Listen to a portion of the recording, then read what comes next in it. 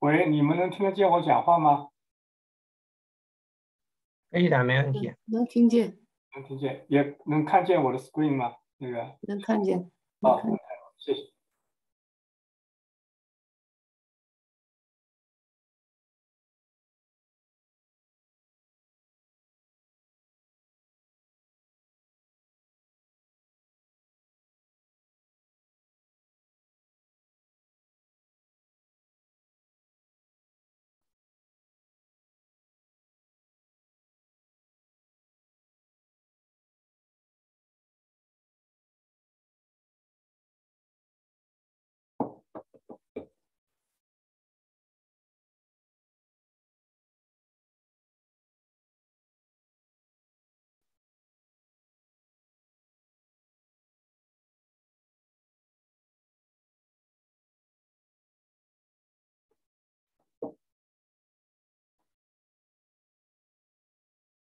我们再等两分钟，那个。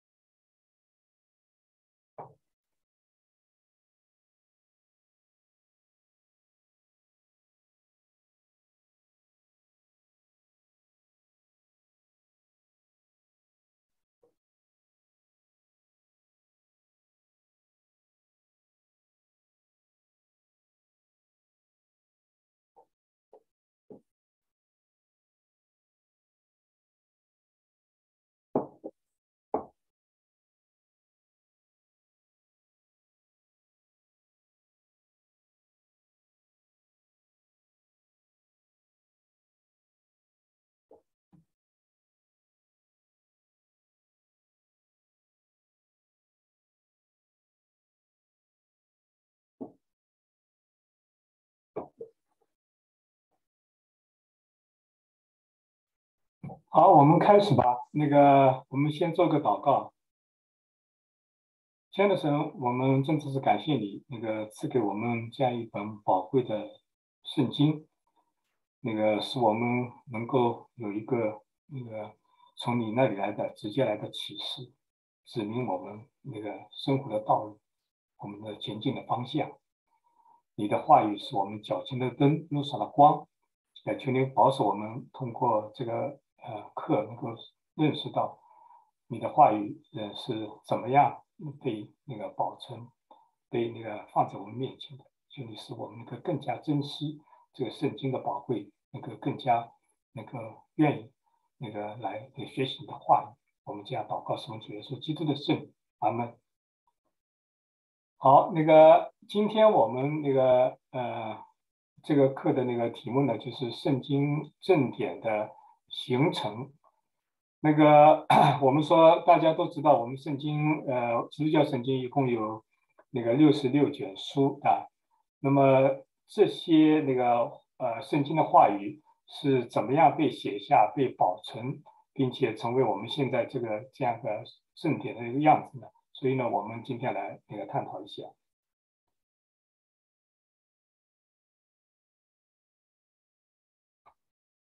好，首先那个我们来讲一下什么叫正点的正点。那么 这个正点呢，实际上的这个字呢，英文呢叫 canon。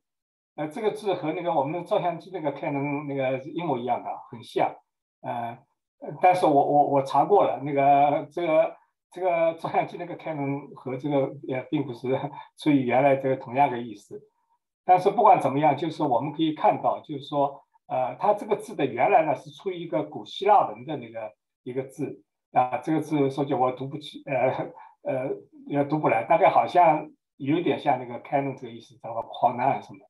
原来的意思呢是一个芦苇，是吧？那个后来呢指木匠用的尺啊，那么所以呢这大概呢就是大概有六肘长，按照如果现在公字来来说呢，大概是三米。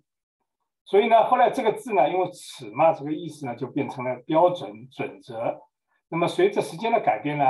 它就是变成了逐渐就留下来了纯粹形式上的那个目录或者一览表这个意思。所以我们可以说，这个这个就是这个本这个正点，就是上帝呃上帝给我们定的标准。所以呢，是指那些已经定下的、不会再增添的圣经。这些书卷呢，是上帝那个所启示的，是我们信仰那个信徒信仰与生活的权威。那么在教会历史上，第一次就是用这个正点这个词呢，就是是一个那个就是俄利根那个。他呢是一个呃，他当时第一次提出这个字。那么实际上呢，我们现在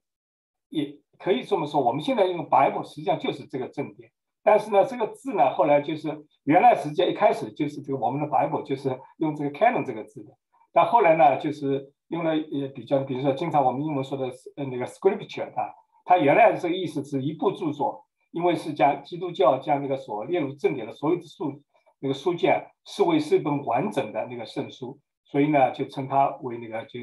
呃 scripture 啊。后来那个 Bible 呢是实际上是更加后面啊呃一一个一个词啊。所以呢，我们现在那个就是普遍用的呢是 Bible 这个字呢是指所有的基督教那个正典啊是统称，包括新约和旧约这两个部分啊。所以我们看到这个正典的定义。是呃是这样来的，是从一个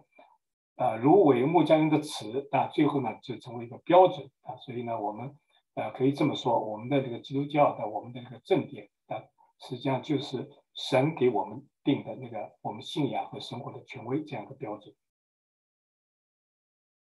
那么呃我们要这点要就是要明白，就是整个圣经啊呃就是叫正典化，也就是说怎么样。被收录啊，被大家公认承认。其实整个过程呢，是是个上帝主导的过程啊。我们知道那个圣经是神所漠视的啊。那个这个呃提摩太后书那个就是三章十六十几节，这家呃呃这是呃是大家非常熟悉的经文啊。圣经都是神所漠视的，以教训、督责、使人归正、教导人学艺都是有益的，叫赎神的人得以完全。预备行各样的善事，所以呢，我们可以说，这个神既然启示了，但漠视了这个圣经，当然他也就是整个主导了怎样使他的话语啊成为正典，不要不被那个各种各样的那个就是不是他话语的那些那个呃就是非正典的东西所搅扰啊，所以整个那个圣经的正典的过呃过程也是那个神所那个主导的。那么正典观念的那个开始呢，是根据那个信徒啊，包括旧约的那个犹太人和那个新约的我们基督徒的三个根深蒂固的观念。啊，第一个呢是上帝是独一的、绝对的、至高的啊，至高无上的，凡他所说的、所行的都有着权威啊，这是那个就是呃一个观念。还有一个呢是上帝是说话的上帝。他将自己的心意、计划、期望啊向我们表明，人可以透过他的言语和行为来认识他。所以呢，就是说，上帝并不是一个高高在上、不不和我们交通的，他他会那个把他的那个要将他的心意告诉我们啊，使我们能够知道这该怎么行。还有呢，就是上帝借着圣经作者漠视圣经，并且保证圣经的权威性和无误性啊，就是刚才我们的题目太。那个后书这个这里面所说的这三章的十六十七节所说的啊，圣经都是神神所漠视的啊。那么呃，我们这点就等一会儿我们还要强调啊，因为我们接下去会呃讲了一些，比如说整个过程呃某些会议呃呃定了什么事情的等等等等这些东西。那么大家不要以为好像圣经那个正典是人开会定的啊，其实这个不是这么回事，因为那个实际上什么就是是圣灵引导，当时年的犹太的那个拉比们啊，来明白啊什么书卷才是应该是那个就是他们希伯来圣经，也就是我们的新呃那个就是旧约啊，啊哪些是正典。相同的呢，也是那个圣灵引导那个。初期教会的那个基督教团体去明白那个哪些书卷内容是乃是上帝的话语，哪些书卷才应该属于新约正约呃圣经的正典。所以呢，再由呃我们的这些犹太人或者基督徒的会议去将圣灵所引导出来的共识加以宣认及公布啊，并不是说由这些会议来决定正典，而是说上帝的灵引导我们。啊，来明白哪些是正典，哪些是非正典，从而最后呢加以宣布公认的。那个实际上就像那个呃圣经也是一样啊，圣经是神的书，但是呢，他最后呢是通过啊上上帝那个那个末世的一个个人把它写成文的，但是并不是说这些圣经是这些人写的，而是圣经是神所末世，是神写的。那么我们说那个旧约正典呢，呃，这个呃主要是就分成呃呃呃旧约的分成这样下下面四个部分，那一个是摩西呃五经啊律法书，还有一个呢就是先知书啊，呃大小先知书一共有十六卷啊，大家也知道那过去在那个讲那个呃旧约概论啊什么都知道，大大小先知书并不是说呃大大先知就更重要，小先知就不重要，而是说。那个篇幅的长短啊，还有呢，就是历史书啊，历史书呢，从那个约书亚记啊、四世纪一直那个一共有十二卷。那么接下去呢，就是那个诗歌智慧书啊，那个约伯记啊、诗篇啊等等啊，这些一共有六卷。那么我们的那个就是我们基督教的，就是新教或者叫根正教，那旧约呢，一共是三三十九卷。与犹太教的三十六卷的希伯来圣经，他们叫呃塔纳赫是相同的啊。大家可能觉得怎么会相同呢？因为我们是三十九，他们是三十六。但实际上呢，它这里面是因为我们那个沙漠记我们分了上下，啊，历代志也分了上下，列王记也分了上下，而他们呢不分上下，所以呢他们是一起的。所以这样的话，我们就比他们多了三卷啊。实际上内容是一样的。那么天主教呢，在圣经里面呢，还加了那个七卷那个次经，对吧？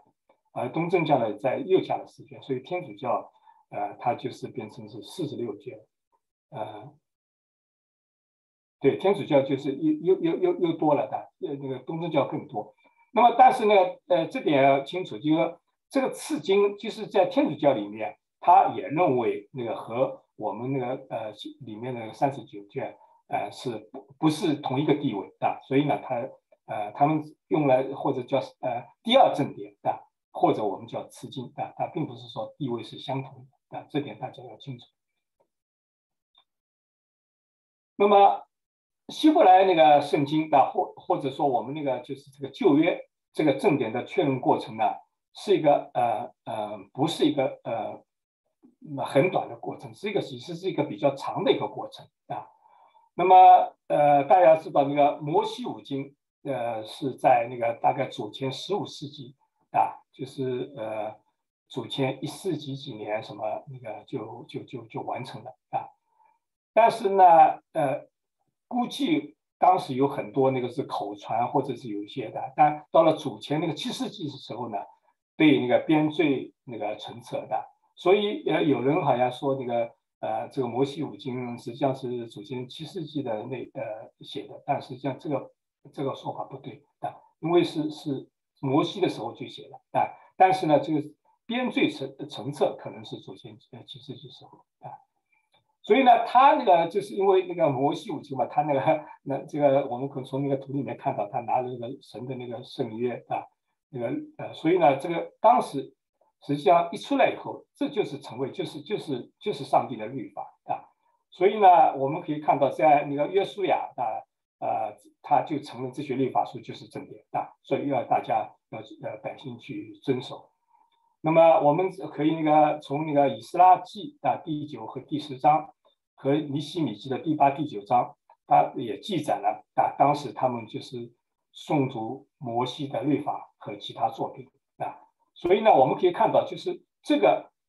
摩西五经一出来啊，它就是正典啊。那么一般认为呢，律法书呢，在这个祖先第五世纪的时候呢，就定稿了。就是没有什么，这呃，就是我们说这个定稿，就是说呃，不会有在在什么那个增添内容啊什么的，就是该如果呃不太清楚的地方，大家都澄清了，认为这就是这样个稿子，呃，是这个摩西五经。那么先知书啊，它这个写作的年代呢，大概在主前八百五十年到那个主前四百三十年那个这段期间。那么这些书啊，它的作者都有先知的职分和工作啊。我们是说那个先知就是上帝的代言人嘛，所以呢，上帝的启示就以他们为对象，他们代替上帝那个所说的话。啊，所以呢，这些话既既然是上帝启示叫他们那个就是说的啊，他们的话也是正典的，所以呢，一般呢认为呢，大概先知书在主前第二世纪左右的定稿，并获得那个呃其那个正典的权威地位。那么历史书的这个跨越时年代就很长了。那最早的约书亚记，那紧接着就是摩西五经啊，那个而历代志呢尼西米记的等等啊，我们一般认为它在大概在楚前那个四十五年或者四二五年那个之间写的。那么呃，诗歌和智慧书那个就是呃这个跨越年代更长。呃，就一般我们现在认为约伯记可能是圣经中最早成文的篇章啊。那个 我记得我那时候在呃国内大陆的时候啊，那时候是就是一九七几年，那文革刚刚结束以后，当时就是呃大学的文科教材呃说古代文学里面就有约伯记，因为那个 它的年代是足够长嘛，所以呢。呃，可以就是作为那个就是呃约伯记是古代呃世界古代文学的教科书的那个一个被那个列入的那个篇章，因为他这个时间呃有人估计约伯是和那个亚伯拉罕同时代的人啊呃那个所以呢他这是呃估计大家都认为他是可能圣经中最早成为的呃篇章。那么诗篇我们可以看到很多都是大卫王所写啊，在以色列民众中一直那个吟诵的那个呃。呃，一些那个呃篇章。那么在那个关于诗歌和智慧书，所以呢，我们可以看到，就是关于正典，呃，就是很多其实像摩西五经啊、先知书啊，其实就是一般那个争议比较少。但是呢，是否把传道书雅各列为正典呢？历史上呢，就是是有过一些争议的啊。所以我们可以说，正那个旧约正典的这个。那个确立的过程，主要还是在一些就是有些争议的那个呃这些那个呃篇章是否应该列为正典，呃有过一些争议。那么过去呢，呃就是我们一般的就是认为啊，律法书和先知书以外的旧约书卷呢，是在主后九十年的就亚美尼亚会议上确定的。那么呃过去呢。呃，如果你去看那个很多的都是呃呃有这种说法，但是呢，最近几十年好像这个共识呢受到了一些质疑啊，因为那个就是大家觉得就是亚曼尼亚会议啊，呃，好像这个没有，并没有说哎，在这个会议上决定了呃剔除了什么书卷啊，啊加了什么书卷，或者或者是决定了什么书卷，而只是什么。呃，对一些就是说，比如说传道书、雅各书，呃，是否应该列为正典，有过一些大家一些讨论的。那么好像并不是说是这些那个呃，这个会议决定了啊，必须把它加上啊，呃，而而呢，就是那个我们那个就是很有名的一个就是 D.A. Carson 的，他他等人他他们认为呢，就业正典的形成过程有可能更早。可呃可以再往前推至那个祖前那个呃第一世纪左右啊，但是呢，就是但是也有些认为呢，就是实际上哪怕在那个就是主后九十年后的亚美尼亚会议上，啊以后还是有一些那个就是一些文献上面关于呃就是呃比如说传道书雅各啊，雅各书是否那位正典，还是有些讨论啊，还是有些讨论。但是呢，有一点是可以肯定的，就是进入主后第十世纪以后，就再也没有关于希伯来圣经及我们的那个旧约呃就是叫旧约正典问题的讨论了。也就是说，当时就认为那传道书，不管传道书、雅各书的等等那那些那个呃诗歌书的，要列为正典，没有人再呃持任何怀疑了啊。所以呢，就是说。关于旧约正典完全确立的时间不是很确定啊。从那个呃卡尔森的认为的呃祖前那个第一世纪一直到那个好像呃第十世纪都有，但是这点是肯定的，就是主后第十世纪以后呢，就是这个正典的所有的篇章都已经确立了啊，就是呃我们呃基督教的三十呃九篇。呃，如果那个希伯来圣经的三十六，但刚才我讲过了，因为他们是那个沙漠记上下、历代志那个上下、六王记上下是并成一卷的，所以是一回事情。那么到了后来，那个就是十六世纪的天德会议，天主教呢，他们觉得还是要把那个一些词经加进去的，呃，所以呢，这就是另外一回事。那么。关于那个就是旧约的里面呢，其实旧约圣经的正典的问题呢，实际上就是有一个是很重要的，就是说，实际上什么，在那个新约的福音书里面记载了，耶稣啊，他那个引用了很多部的新约，呃呃，就是旧约希伯来圣经中的那个就是呃一些那个呃章节啊，那个。有人统计过了啊，他引用了那个希伯来圣经，我们刚才讲三十六部嘛，他引用了二十三部啊。那么其中呢，就是摩西五经啊，那个三个长的那个先知书，十二部那个小先知书啊，八部，以及诗篇箴言约伯记单一礼书和历代志的，都这些那个话语都都引用了。但是呢，他引用的时候呢，他的那个引用的那个就是。呃，就是整个这语语句呢，有些就是不是和我们现在所用的那个版本呢是完全相同，所以呢，可以看出那个时候呢，其实就是说明呢，呃呃，就是至少没有一本对，就是大家都公认的，其他全都那个呃呃呃，就是呃都都是抛弃的这样一个版本的。实际上当时就可能有好几个版本同时在那个。呃，在整个那个就是呃犹太人中间流传的，所以呢，我们可以，但是呢，呃，我们可以看到这个就是耶稣基督对旧约啊，他的态度是那个很明显的啊，在那个马太福音第五章第十八节说：“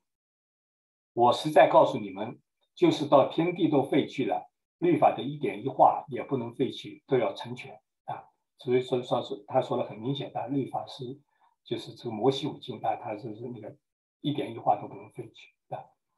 还有呢，在约翰福音那个五章三十九页九节说这个，你们查考圣经，因为因为你们以为内中有永生，给我做见证用的就是这经啊。所以耶稣在这里说，旧约是给他做见证的啊。在罗马书那个十五章四节里面，保罗说，从前所写的圣经都是为教训我们写的。叫我们因圣经所生的忍耐和安慰，可以得着盼望的。所以呢，就是那个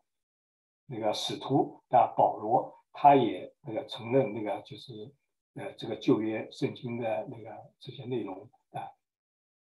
都是那个我们得着盼望啊盼望的那个根据。那么，因为讲要讲这里为什么呢？因为这里面就是牵涉到，因为后来呃有一些异端啊。他们就是否认那个旧约啊，所以呢，这也是为什么促使那个那个就是呃，我们的基督徒啊早期的基督徒，他们要要要那个确立正典的一个一个一个呃很重要的一个原因。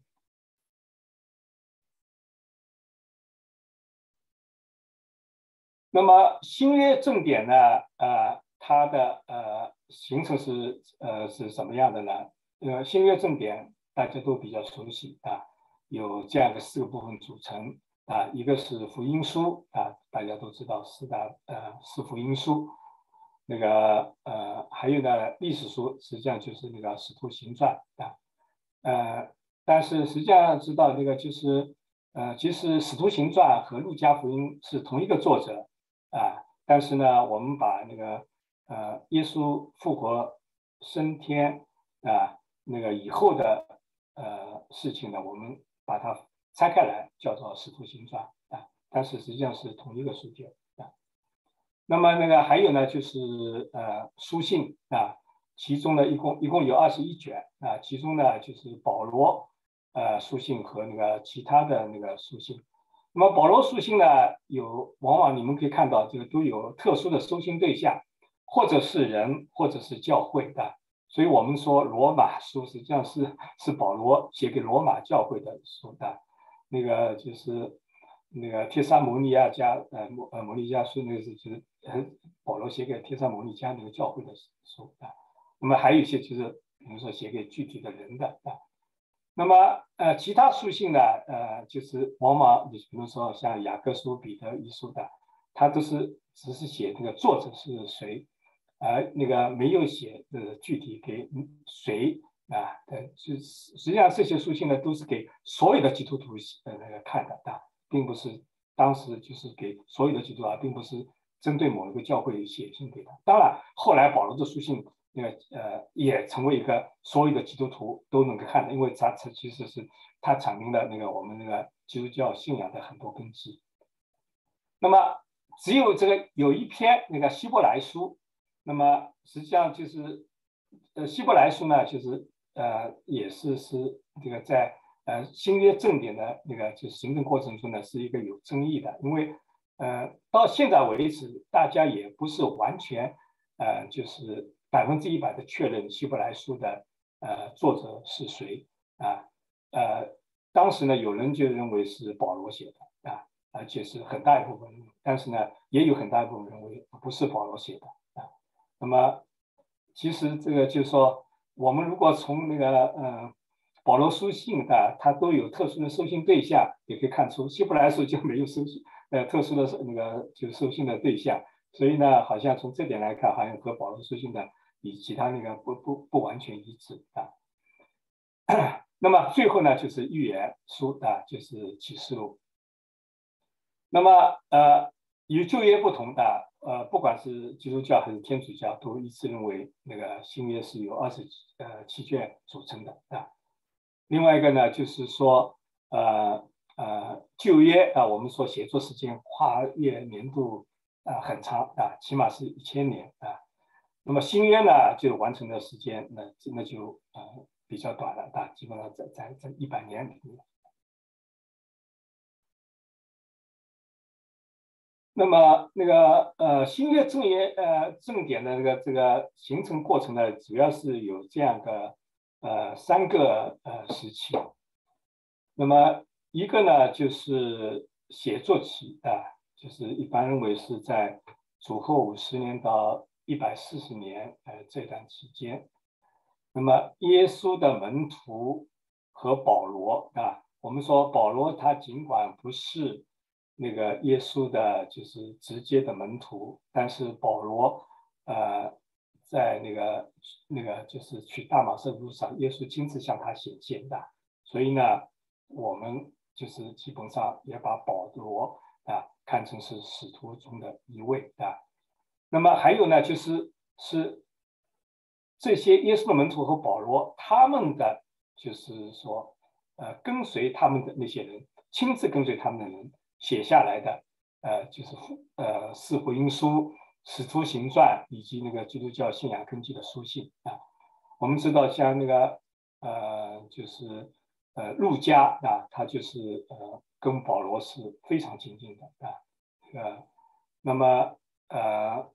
还有那个就是呃其他像像马可啊，他也是和是好像是和彼得非常亲近的，所以呢，他们就是这些的。那个就是跟呃耶稣门徒和保罗非常亲近的人，那么写下了这些那个就是呃书信啊，包括还有一些那个就是呃记载了耶稣的话语啊。那么最后呢，是我们知道是使徒约翰在拔摩岛上写下了启示录，启示了那个就是呃就是新天新地，作为整部圣经的结束啊。我们可以看到那个启示录最后写的是怎么说呢？就是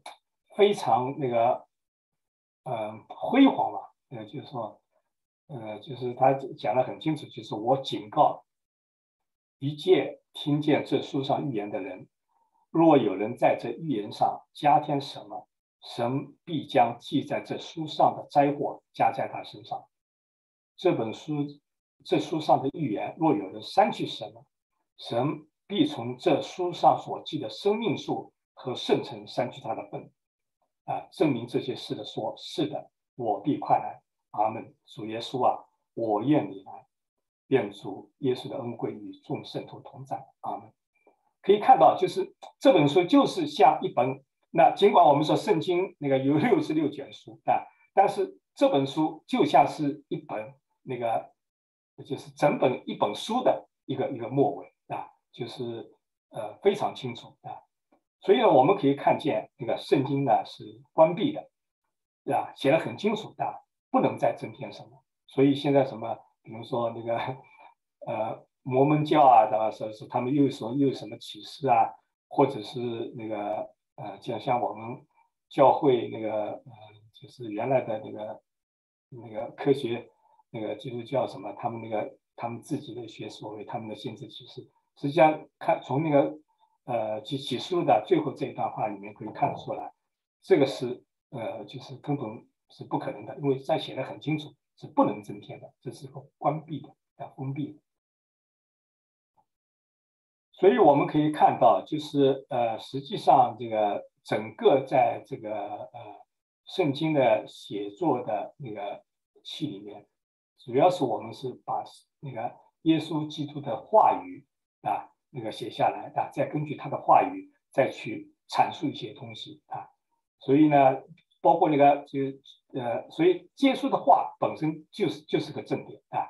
那么教会呃在呃圣餐的时候。纪念耶稣基督的受死和复活啊，这些实际上就是，尽管后面呃好像好像嗯嗯还还是呃离开那个最后呃新约正典的那个，比如说迦太基会议啊什么还早着呢，但实际上什么那时候已经是被公认是正典了啊。那么而且呢，就是呃使徒啊和呃当时还有那个就是和使徒非常接近的一些门徒都活着的。他们那个就所写的书信啊，被教会视为是对教育和那个实际生活教导的那个权威啊，互相引用啊。嗯，比如说那个呃，保罗在罗马书上写了很多，但有些非常实际啊。那个对，比如说那个呃，就是关于比如说 呃吃呃是不是呃就是吃那个吃什么那个呃的都都讲了非常的一些实际的一个指导啊。那个嗯，因为那个犹犹太教呢，它有关于吃什么东西有非常那个多的那个禁忌嘛。但是那个我们认为那个呃，就是新教呃，就是基督教以后，我们认为啊，神的其实什么呃，就是给啊外邦人啊，他们呃整个那个就是呃有的有的一个新的启示啊。那么那所以呢，这些呃呃内容，其实在当时已经是在各个教会里面啊传播啊。呃，也并不是说一定是后面这个呃这个会议上定了以后才那个把呃这件事情定下来啊。那包括那个就是行割礼的，这可实际上这些这是一个非常重要的一个一个一个变化的，就是呃非呃犹太人是不是要行割礼的这些这些内容，其实在当时的教会里面已经是视为是大家呃就是公认的啊。那么，而且呢，就是包括那个使徒啊，这个之间，他们也互相那个就是呃引用啊其他人的那个呃书信啊，比如说彼得，呃彼得就在彼得后书那三章十五到十六节引用啊，专门讲到过那个关于保罗的书信啊，他说那个就是，并且呃要以我们为主的容人作为你们呃。得救的机会，就如我们所亲爱的弟兄保罗，照着所赐给他的智慧写信给你们。他一切的信上都谈到这事，信中有些难明白的，那无学问、不坚定的人加以曲解，如曲解别的经书一样，自取灭亡啊！所以我们可以看到，就是使徒之间，大家也引用那个大家那个就是呃一一些那个就是呃他的话语，包括也有些争论啊。我们可以看到那个就是呃保罗呃其实那个和对比的。也有些那个做法，有一些，但是呢，最后大家都有个公认的，就是呃，最后应当怎么做的。那么，这是我们刚刚讲的，呃，指出那个呃，就是呃啊，就是新约圣经啊，这个就是正典化的第一个过程，就是写作写作期。那么第二个时期呢，就是怎么会那个觉得那个，因为当时好像大家都呃觉得。也没有这个必要，一定要把它那个就是呃讲清楚嘛，哪些是正点，哪些非正点。但是呢，到了那个主后一百四十年到两百年那个时候，这段期间呢，教会有两个因素呢，促使他们确就是觉得一定要确立这个正点，啊，就是新约的正点，啊，觉得这两个是这是必要是必要的而且紧迫的。一个呢是就是异端的兴起，啊，那么其中呢就是有一个叫马吉安。啊，他也是一个呃教会的，好像主教啊。他呢，就是呃，就是认为那个呃犹太人的信仰与耶稣的福音呢是分开的啊。他呃尽管相信旧约的耶和华是创造主啊创造主，但是呢，他就认为呃这个是一个犹太人的神啊，只是彰显公义啊，与新约那个彰显慈悲怜悯的耶稣不同啊，所以呢。他就是自己定义了一本圣经啊，他把圣经呢，第一当然旧约他全部去掉，因为他认为这个不是那个我们那个这个基督教信仰的。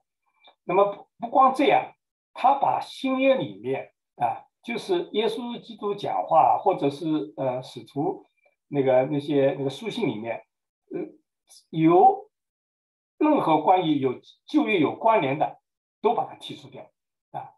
所以呢，这样这样来的呢，他就那个就是，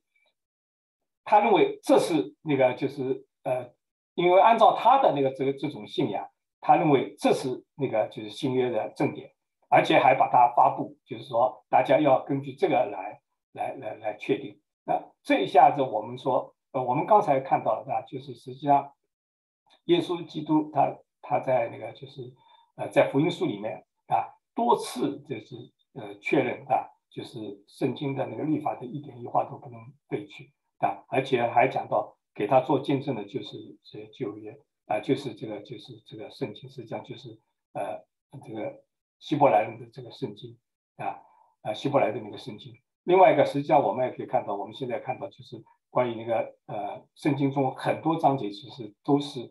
预示了啊，就是耶稣基督的诞生啊，像比如说那个以赛亚书啊。啊，等等，这些都是预示的耶稣诞生，所以我们那个就是呃，教会的领袖当然觉得这是一个呃，这不能接受啊，所以呢，他们就觉得，因为因为他已经好像已经列了书目啊，好像认为这是正点，所以呢，教会领袖觉得有这个必要，一定要就是与他针锋相对的列一本真正的这个属于那个这个呃教会的那个就是呃正点啊。另外一个呢，就是诺斯底主义。那戴香长老在那个呃这本呃我们这门课的一开始也谈到了啊这个事情啊。那么诺斯底主义呢，就是源于那个古斯呃古希腊的那个思想啊，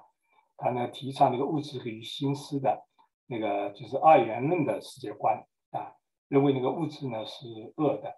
那个心思是美善的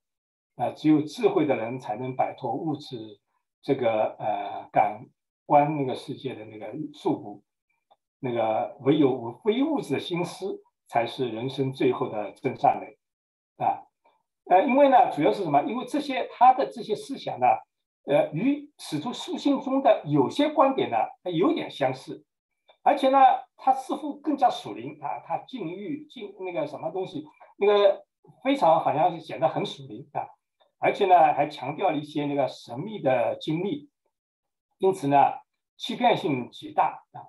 所以呢，这也是导致就是当时的教会领袖觉得有必要啊，就是要确认正点，把基督教的信仰，真正基督教的信仰，那个呃，让那个所有的信徒知道，而且让所有的信徒用用根据真正的基督教信仰去那个呃。去那个就是传扬呃真理，而不能那个用呃这种东西去那个传扬，而导致那个就是呃大家思想混淆啊。我们说那个诺斯底主义呃，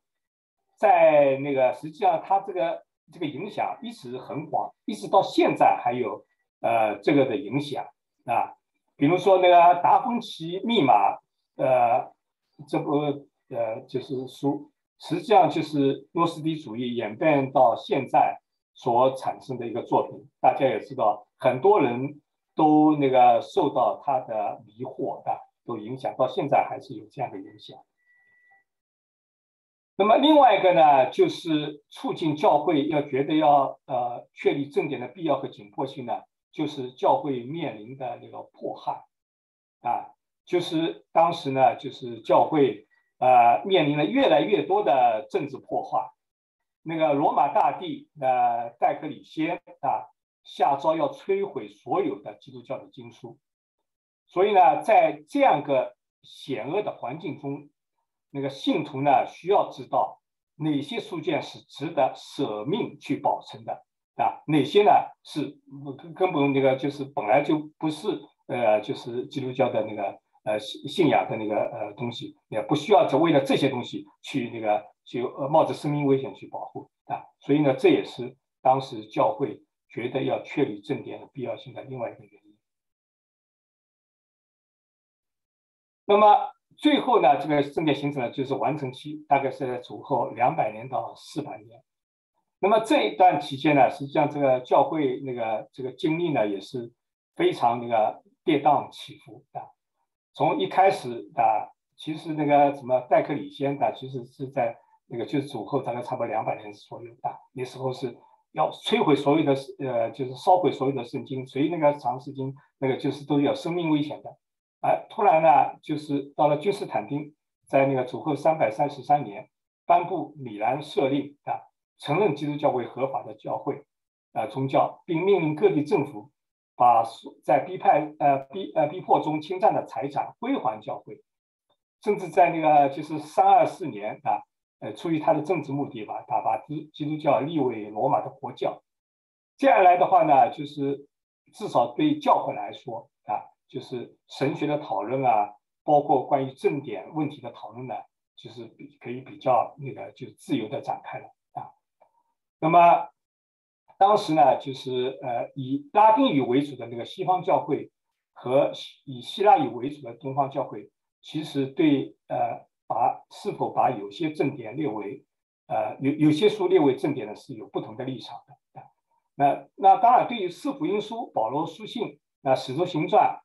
呃基本上呃就是各个地区都能够接纳啊。但是呢，主要是对那个七卷书呢有争议啊，就是这里讲的。希伯来书、雅各书、彼得后书、约翰二书、三书、犹大书和启示录啊。那么我们说那个希伯来书的，刚才就讲了的，就是呃呃，应当好像是呃东方教会，我大概基本好像认为他是保罗写的啊，当然也列入啊，那个呢是不认为是保罗写的。所以呢，但是呢，我们说经过一呃经过一段时间的那个呃就讨论后以后。我们说，主要在圣灵的引导下，大家都取得了那个共识，所以呢，这个七卷被那个就是以拉丁语为主的西方教会和以希腊语为主的东方教会都能够接受啊，接纳为正典。那么，当教会的对那几卷书应该列入正哪几卷书那个可以应当列入正典形成共识以后呢，就在那个主后三百六六十三年，在老底家。和在主后三百九十七年，在那个呃迦太基啊开了两次会议，做了最后的确认。那么老底家的教会呢，确认只有新约正典中的书，方可在那个崇拜中宣读啊。不是呃这些那个新那个正典中的书是不能宣读的。那么后后者呢就确认的这个新约呢一共是二十七卷。那那么其中那个就是迦太基会议呢有那个著名的那个就是 奥古斯丁啊呃参参加啊。那么呃这这以后呢就是新约二十七卷啊就成为正典，就不会就没有再有争论。那么，呃，在这个过程当中呢，就是刚才我们前面提到过的那个俄里根啊，他是第一个用“正典”这个词啊，实际上他也是第一个用“新约”这个词啊，就是来那个称呼那个新约书书卷的人啊。那么，第一次那个列出二十七卷目录的是一个叫亚拿他修的那个，就是一个教父，他在那个主后三百六十七年。那个在那个在复活节写给亚历山大教会的书信中，呃书信中提到了这二十七卷书，所以不管怎么样，就是主后三十七三百九十七年以后啊，这二十七卷书就成为正典，就是没有任何的争论啊。那么我们说当时呃呃就是使徒啊呃。呃，或者是那个当时教会的领袖啊，是呃怎么来呃根据什么标准来呃确认那个新约正典啊？哪些应当输入，哪些呃不应当输入呢？那么一般的来说呢，我们并不是说他们当时定出了三个标准，我们现在啊，他们后来就根据这个标准来定，而是我们现在呢，根据他们那个就是呃呃确认的这个正典。呃，可以归纳出当时他们有这样的三个标准啊，一个呢就是必须和基本的那个信仰的，就是耶稣基督福音的原则一致，所以那个在那个保罗在加拉太书那个一章八节里面讲的很清楚的，无论是我们是天上来的使者，若传福音给你们，与我们所传给你们的不同，他就应当被咒诅啊，就是说一定要是和耶稣基督的福音啊这个原则一致啊。那个就是呃，比如说的，就是说呃，一定就是阴性啊，呃，诚意啊，而不是什么呃，经过通过割礼啊什么的等等方法啊，等等等等的啊，或者是通过呃，就是呃呃行善啊或者来来来成立啊，这些因为都是和那个耶稣基督的那个福音的原则不一致的啊，这些如果呃有这些内容的，那肯定不能呃作为啊。呃，就是那个新约正典，还有呢，就是必须呢具有使徒性，也就是说，这个这些书信或者是那个福音书记载，都是要么是出于耶稣基督的，就是门徒啊，就是还有呢，就是呃，就是保罗啊，他虽然那个呃没有在那个主耶稣活着的时候那个跟随过主耶稣，但是他是。亲身经历过主的显现啊，而且呢又热心传福音啊，所以呢也是被尊为使徒啊。那么还有呢，就是有些那个书信的时候，尽管不是那个呃使徒，但是呢他们和使徒有密切的关系。比如说像马可福音啊，他那个尽管他不是呃耶稣基督的直接的门徒，但是呢他是那个就是实际上是把那个彼得使徒彼得的讲道词把它记下来。啊，他是和彼得是在一起的啊。那么路加啊，我们可以看到那个就是在使徒行传里面也可以看到，他是一直跟随在那个保罗身边的啊。所以他们的那个写下来的那个福音啊，路加啊、马可福音啊、路加福音，包括使徒行传，都被接纳为正典啊。另外一个呢，就原则是必须被呃教会广泛的接纳和使用啊，就是说。并不是说，哎呀，我们呃定下来这本书，这本书，呃，那个当时的就是基督徒教会里面，他从来没有人看过，从来没有见过。大家哦，突然说，哎呦，这是那个神的那个是我们本地。实际上这些呃正典的，在那个被呃就定下来以前，已经在那个教会里面广泛的流传啊。教会呢，大家都认为是有价值的啊。就像我刚才讲的那个耶稣。基督的话语的这些话语，的本来就是已经在那个广泛的流传。保罗的书信、使徒的信书信，他也是写给那个呃呃就是或者是教会，或者是写给那个所有的基督徒的啊，这些东西也已经在很多在聚会中已经是公开诵读了啊，所以这些呢，也也是作为那个收入的那个那个一个依据啊。所以呢，我们可以可归纳为呃，可以这么以上三点啊，正点的形成的标准呢，好像是离不开使徒，但说的更精确一些呢，应该是离不开耶稣基督的福音啊，因为使徒所传的就是耶稣基督福音啊，因为正是因为啊，使徒那个呃所传讲耶稣基督的那个就是中心呢是那个这个耶稣基督福音。所以呢，所以我们呃所有的一些著作啊，都是什么？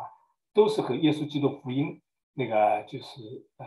为就是为依据的啊。所以呢，说起来有三个标准，实际上就是一个标准，就是说是是不是耶稣基督的福音啊。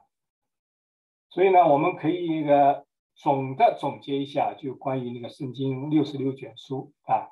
那么。我刚才一开始我也强调，我现在还要再次强调一下，就是看起来啊，这些书啊的收集的历史过程涉及到人的方面啊，呃，有些书好像都是人的讨论，通过一些会议来决定的啊。但是我们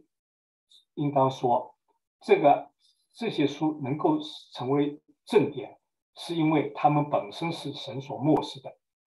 他们在被写成的时候就是正典啊，只是说什么神的子民啊，通过圣灵的感动啊，通过大家的讨论啊，就是再把这件事情确认，并且在某些会议上把它这就是宣告了啊。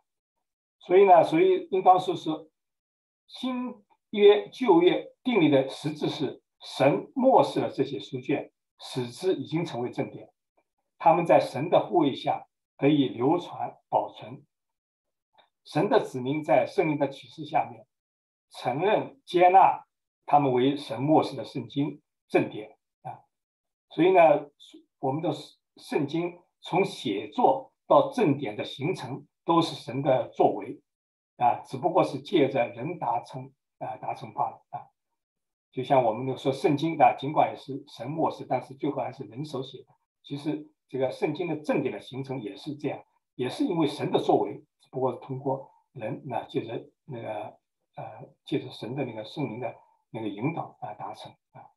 所以呢，我们可以说这整本圣经啊，尽管呃那个是有六十六卷，涉及的作者有各种各样啊，有那个有有君王，有渔夫啊。有那个学问很高的，像保罗啊，也有那个呃，就是 像彼得这样那个打渔人的，但是那个整本圣经都围绕了一个主题啊，就是神的那个救恩啊，那个神的那个就是呃天国的这个信息啊，所以在创世纪中啊，第一卷创世失去的乐园和永生，在那个最后一卷书在启示录中重新赐给人类啊，旧约的。预言很多在新约中那个应验，所以像那个出自一位作者那个手中一样，所以因为是为什么呢？因为圣经的真正作者是上帝啊，所以我们可以从呃整本圣经啊它的那个被漠视的过程，被那个正典的过程啊，都可以看出啊圣经的真正的作者是上帝。好吧，那个今天那个。讲的内容主要是这些，大家啊可以有如果有一些问题，我们可以讨论一下。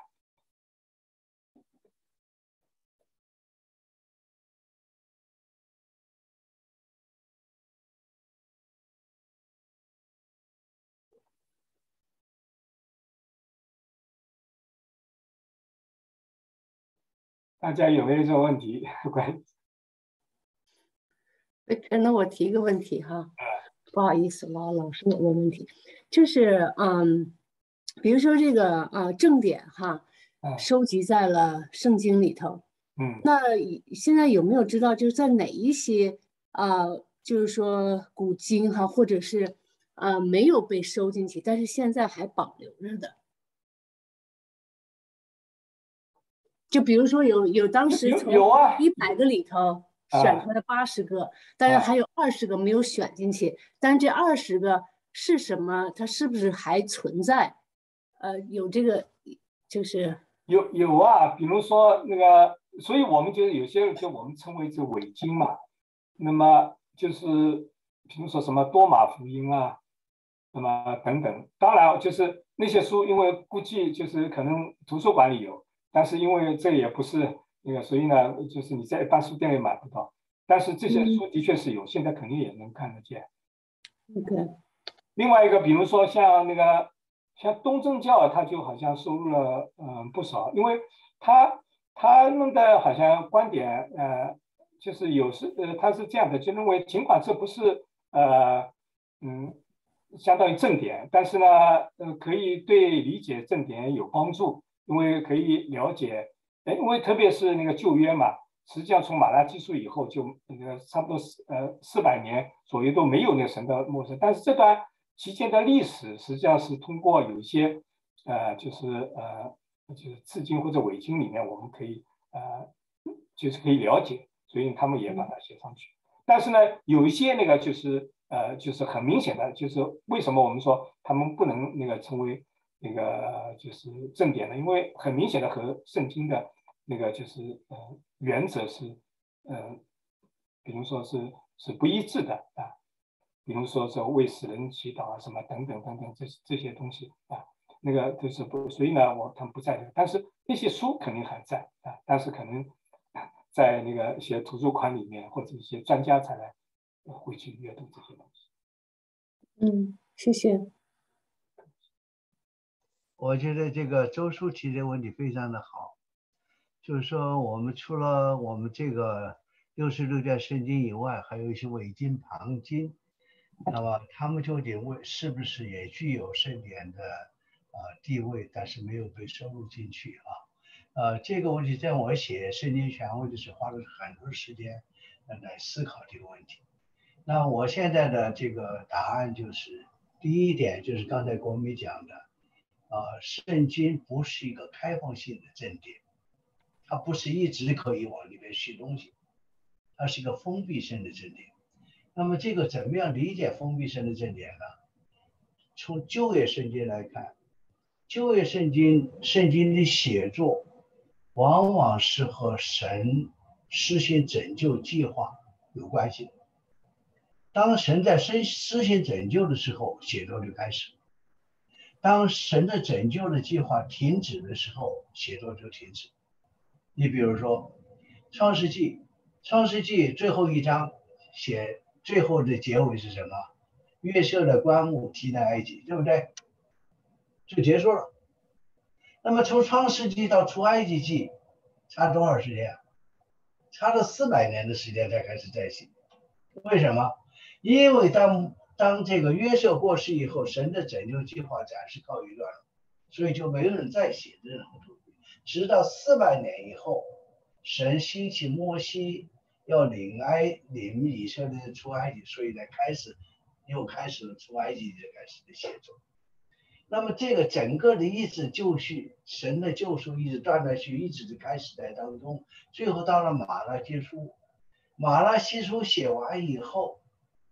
就在等候新的弥赛亚的到来，所以马拉基书到新约的圣经与世序还是事情，最后一个先知中间差什么？又差四百年。所以大家看见，所以当神的拯救计划结束以后，那么写作就停止。那么新约圣经的封闭性怎么理解呢？就实际四福音书已经很清楚的讲了。耶稣的言行，这个时候没有比谁任何人在讲更有权威的。为什么四福音书不是到新约圣经不是到四福音书就结束了呢？还需要书信？为什么？因为主耶稣的言语行为需要一批权威的见证和解释。那么新约圣经这些四福音书以外的这些作者。就是达到了这个目的，当这个目的达到以后，新约圣经的写作也就结束了啊。所以理解这是第一点。那正因为是这样，所以我们现在看到的旧约的旁经或者伪经，都是在马拉结束以后，在四百年到施洗约翰之间这个地方写出来的，是吧？所以这个就可能就不具有正联性。另外呢，你看新约圣经也是这样，新约圣经大家如果读早期教父的著作，你们就会发现，在主后第一世纪五十年以后。就是第一代使徒已经过世了以后，这些教父们写的东西虽然也非常的好，但是他们非常的清楚，他们所写作的和使徒写的完全不在一个层次上。就是五十年以后的这都是这样，何况那些伪经旁经，那就更不用提。这是第一点。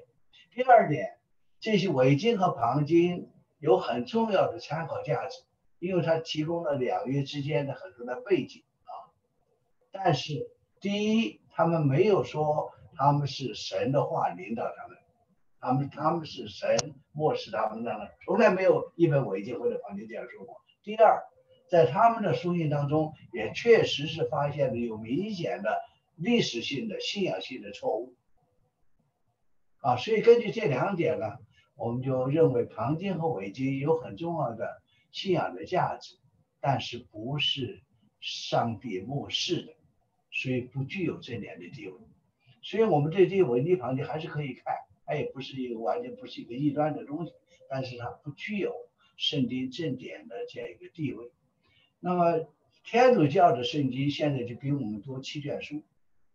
都是在宗教改革以后天的会开的天的会议，因为宗教改革非常严厉的批评他们的这个卖书的卷啊，关于炼狱的这种观念。他们就说他们有在马加比书，马加比书，那改革家就说那马加比书也不是圣经的正典，你们的根据也不对，所以最后他们干脆就把包括马加比一书、二书在内的七卷书，干脆就把它正式追认为是圣经的正典。那你这样再说我们有圣经依据，那马加比书是是是这个正典，所以他们最后加进这七卷书，主要还是回应。要回应这个宗教改革家对他们的这个炼狱啊、买赎罪券的这一批评啊，所以大概我想今天这个呃挺不容易的，这么大一个这么这大的一个事儿，就用了一个小时的基本的人口能讲出来了，这也挺不容易的啊。所以呢，我觉得国民讲的这个最后总结这个很要紧，就是说是哪些是正点，不是由一些权威的宗教人士来决定。乃是因为这些正这些书是上帝漠视的，所以他写成时候就是正典。只不过后来在圣灵的感动带动下，让人认出这些是上帝漠视的书卷，所以它成为正典。大家可以想想，这一千多年以前根本没有可能开一个全世界的这个基督徒大会，对吧？是这个根本不可能的，交通工具全部都不可能。中西方文化差异这么大。啊，一个是拉丁语系的，一个是希腊语系的，最后能够一致的认为这六十六卷书是圣经的正典。那除了所以这些看得见的历史的层面，什么迦太基会议也好等等这些，只是断断续续有一些。我为什么看不见一个很清晰的，就你圣经是怎么样被人类记住呢？实际就是背后超越历史层面的圣灵的工作。啊，所以现在我们并不讲得很清楚，究竟是这个信息是就在就是怎么最后确怎么确立的过程，我们并不是太清晰。为什么？因为它有超越历史层面的东西。啊，所以我不知道我这样讲是不是会有点帮助啊？谢谢那个那个周叔，我想说下一次那个下两次会详细介绍那个新旧旧约新约之间的这这些数次经的。这些书卷啊，因为刚才讲那个就是传道书哈，犹豫半天，最后最后是收到正点了哈。其实其实传道书是我非常喜欢那本书，我在想有没有可能还有其他的书信像传道书一样被刷下去了？因为传道书这其实是本身对圣经的理解是非常有帮助，嗯，所以我就刚才问刚才那个问题，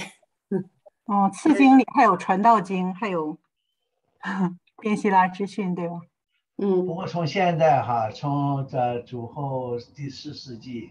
呃，就是加泰基会议以后到现在已经